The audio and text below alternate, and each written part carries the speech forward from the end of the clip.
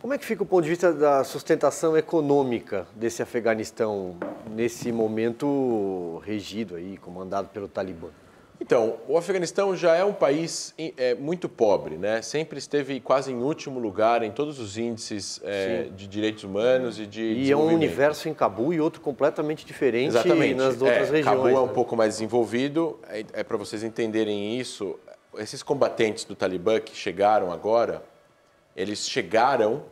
É, alguns deles eram, eram crianças ou não tinham nascido em 2001.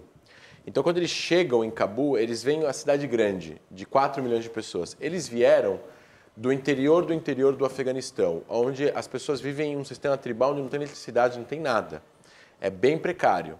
Então, eles chegam em Cabu e veem ruas, e asfalto, e pessoas, e mulheres, e, e lojas.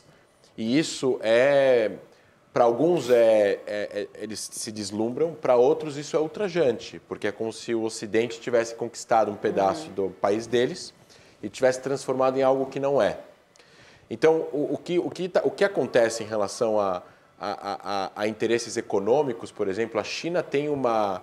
É, tem uma tem, tem algum, eles estão explorando minério e já compraram várias é, regiões onde há exploração de minério que valem aí estamos falando de um valor de mais de um trilhão de dólares em minério que existe no Afeganistão. O lítio, é né, para as baterias. Isso, é exato, o lítio na bateria. A gente chegou a comentar a última é. vez que eu vim, eu acho. Então, isso é de interesse chinês e, ao mesmo tempo, é de interesse afegão que a, os serviços continuem. O Afeganistão não tem muito exportação. Você tem é, no interior do país a produção de ópio, né, que, que infelizmente é usado para a produção de heroína.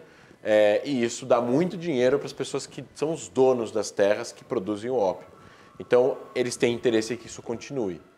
E o Talibã foi parceiro desses traficantes na década de 90. Isso é uma coisa interessante porque essa junção entre o terrorismo e o tráfico de drogas.